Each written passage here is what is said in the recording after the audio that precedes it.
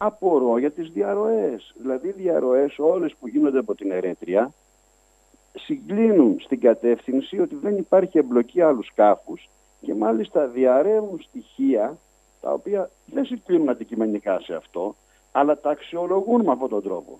Τι λόγο έχει το λιμενικό τμήμα να διαρρέει άχρηστες πληροφορίες, οι οποίες διαμορφώνουν κλίμα όμως, το οποίο είναι στην κατεύθυνση του να κλείσει η υπόθεση, χωρίς πολύ πολύ φασαρία. Μου δημιουργεί μια τεράστια απορία αυτό. Και επίσης μου δημιουργεί απορία και αυτό το βάζω στο τραπέζι, επίσημα δηλαδή και με δήλωση που κάνω τώρα σε εσάς, μου δημιουργεί επίσης απορία. Πώς είναι δυνατόν να είναι η βάρκα του Σύφη του Βαλιράκη αγκυροβολημένη από την Παρασκευή μέχρι την Κυριακή; Σε ένα σημείο το οποίο είναι ε, στο κεντρικό σημείο της Ερέτριας, η μόνη βάρκα δηλαδή η οποία τέθηκε σε τιμότητα για ψάρι σε περίοδο COVID και το λιμεναρχείο να μην πήρε χαμπάρι, να μην παρακολούθησε ε, εκείνον ο οποίος επρόκειτο να πάει να ψαρέψει.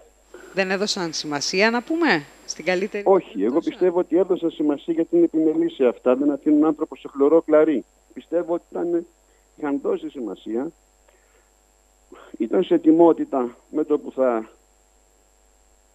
ε, πει στη βάρκα του, πώς είπε ο Βαλιράκης να πάει για ψάρεμα, να γίνει μια μικρή κινητοποίηση όπως γίνεται πάντα μέσω ψαράδων και ενδεχομένως κάτι να πήγε στραβά.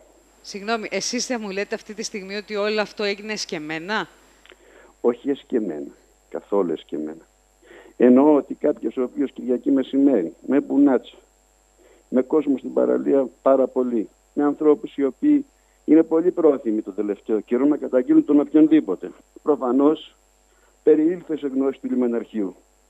Εκτιμώ δηλαδή τουλάχιστον ότι κατά τη συνήθη πορεία των πραγμάτων και κατά λογική συνεπαγωγή, ας το πούμε έτσι, θα πρέπει να έχει ειδοποιηθεί το λιμεναρχείο από την ώρα που μπήκε ο Σύφη στη βάρκα του.